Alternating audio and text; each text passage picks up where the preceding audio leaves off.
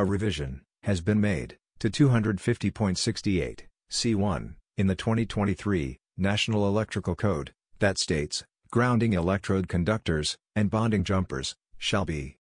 permitted to be connected at the following locations and used to extend the connection to an electrode or electrodes.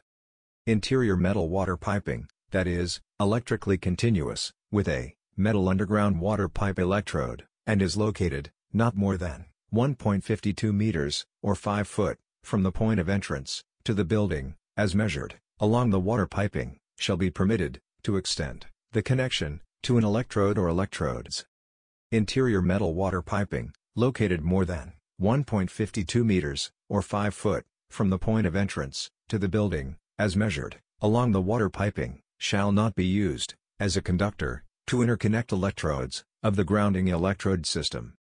The exception, states that, in industrial, commercial, and institutional buildings or structures, if conditions of maintenance, and supervision, ensure that, only qualified persons, service the installation, interior metal water piping, located more than 1.52 meters, or 5 foot, from the point of entrance, to the building, as measured, along the water piping, shall be permitted, as a bonding conductor, to interconnect electrodes, are part, of the grounding electrode system, or as, a grounding electrode conductor, if the entire length, other than short sections, passing perpendicularly, through walls, floors, or ceilings, of the interior metal water pipe, that is being used, for the conductor, is exposed. The metal structural frame, of a building, shall be permitted, to be used, as a conductor, to interconnect electrodes, that are part, of the grounding electrode system, or as, a grounding electrode conductor.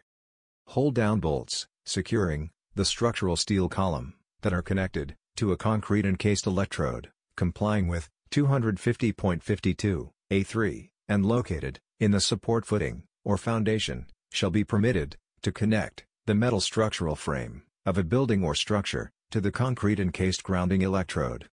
The hold-down bolts, shall be connected, to the concrete encased electrode, by welding, exothermic welding, steel tie wires, or other approved means.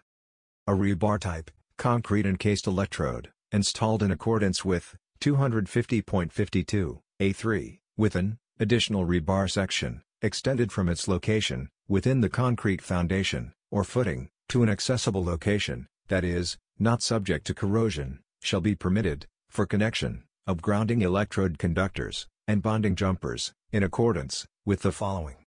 The additional rebar section, shall be continuous, with the grounding electrode rebar, or shall be connected, to the grounding electrode rebar, and connected together, by steel tie wires, exothermic welding, welding, or other effective means. The rebar extension, shall not be exposed, to contact, with the earth, without corrosion protection. Rebar, shall not be used, as a conductor, to interconnect, the electrodes, of grounding electrode systems.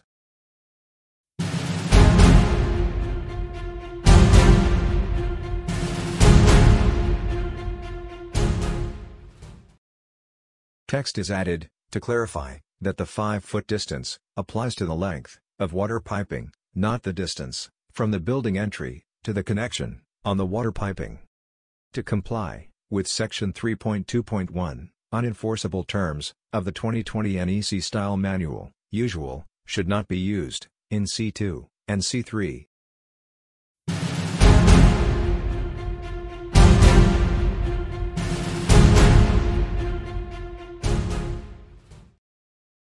A revision has been made to clarify that the 5-foot distance applies to the length of water piping, not the distance from the building entry to the connection on the water piping.